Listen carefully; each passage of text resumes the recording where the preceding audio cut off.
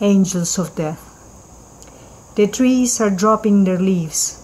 The weather is finally cooling down after so many weeks of hellish heat. In the kitchen, the olive oil is sizzling, the catfish and garlic are frying. The prego sauce and square pieces of sticky green plantain are added. The pan is covered and left to simmer. The knife is dull. It needs sharpening. Whoosh, whoosh, whoosh, whoosh goes the knife against the sharpener. The fresh parsley is already washed. Carefully I started chopping it very finely.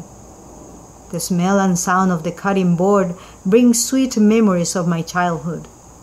Completely absorbed, my mind takes me more than 2,000 miles away from my kitchen in El Centro.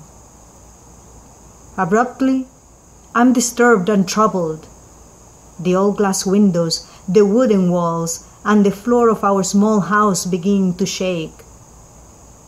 On the other side of the fence, in the neighbor's yard, I hear chickens running away in confusion as their clucking joins the crowning of the solitary rooster in a garbled and chaotic symphony. My dog Sandy stands still in an alert position, with her ears pricked up, trying to discover where the thunderous sound is coming from. A flock of birds swing towards the south. Once again, the blue angels have taken over the skies. For months, I deliberately and consciously managed to block their noise and avoid insanity. But I see children hiding, seeking shelter, when thousands of bombs explode in their playing ground or their backyard. I see eyes and dry lips looking up at the sky, receiving these unwanted presents of doom and destruction from above. I see images of children and women running away in fear and desperation. I see houses, sacred temples, and flesh flying into pieces and death walking in a huge cloud of dust and smoke. I see children without their mothers and mothers without their children. I see husbands without their wives and wives without their husbands. I see empty stomachs flying in the air.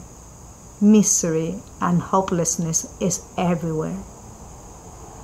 Day after day, while I continue with my busy life, I hear this rumbling and stormy sound of the blue angels flying over my roof. War and combat are real, yet I can still cook my meal without having to hide. Wherever I am, I stay. I add the fresh cut cilantro and parsley the food smells and looks tempting. I serve myself a plate of steamed rice and on the top, my catfish stew. After my second spoon of food, my appetite vanishes. I can eat no more. I'm America. I'm part of an unending war.